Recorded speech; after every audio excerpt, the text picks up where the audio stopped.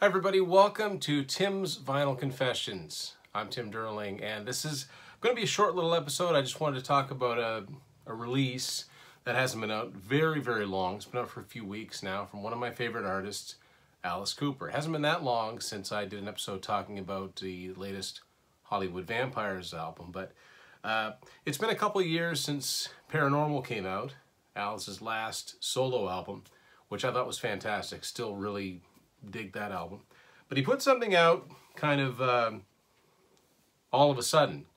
And it's a tribute to his roots as a musician that came from Detroit. It's called Breadcrumbs. And it's actually a limited edition. It's a 10-inch vinyl single. Only 20,000 copies worldwide. This copy I've got is number 3063. So, uh, this is primarily covers. It's got six songs on it altogether, seven, but one of them is kind of a medley. So I thought I'd go over the, the songs that were on this thing. Now, as far as I know, this has only been released on vinyl and digitally. I would prefer that they had put out a CD, but thanks to YouTube, uh, actually most of them come from either Ear Music, which is the company that put this out, or uh, Alice's own website. I've been able to listen to the songs that are on here. So this is all about Detroit. The band uh, that plays on this, the musicians, they're all Detroit musicians. Um, Johnny Bad Badenjek, Badanjek, I don't know how to pronounce his last name. Uh, he was in Mitch Ryder's band. He was also in a band called the Rockets. Uh, Wayne Kramer from the MC5, Mark Farner from the Grand Funk Railroad.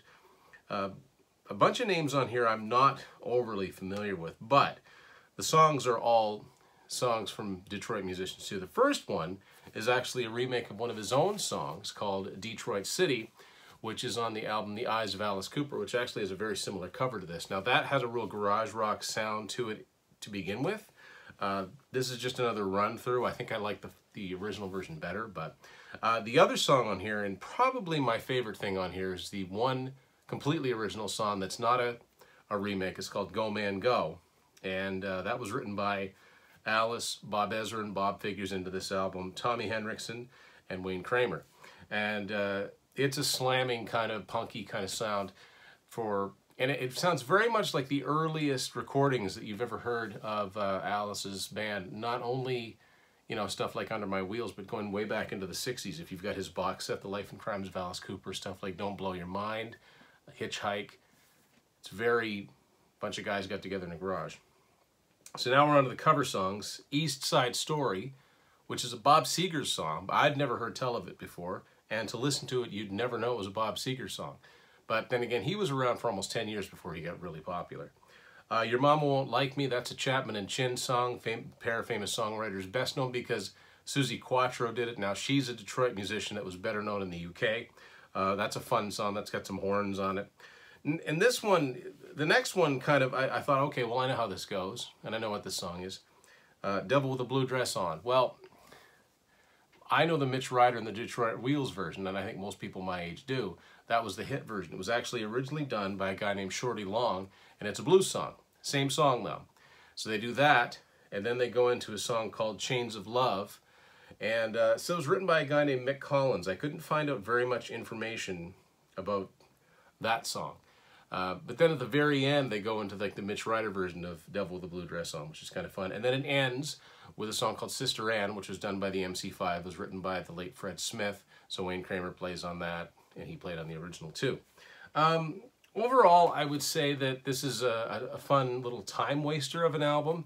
Um, I, am waiting to have an, a brand new Alice album proper. And uh, I don't know if they're going to put this out on CD. I'm going to guess that they're not.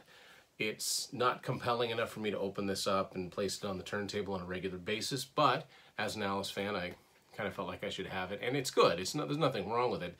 Uh, in a lot like the first Hollywood Vampires album, it's mostly covers, but there's a bit of a concept behind it too. So there you go. Maybe just a little tide me over. You know, Alice has been busy this year between the Hollywood Vampires album and this, and knowing him, he'll probably put out another album next year or the year after that. Keep him coming.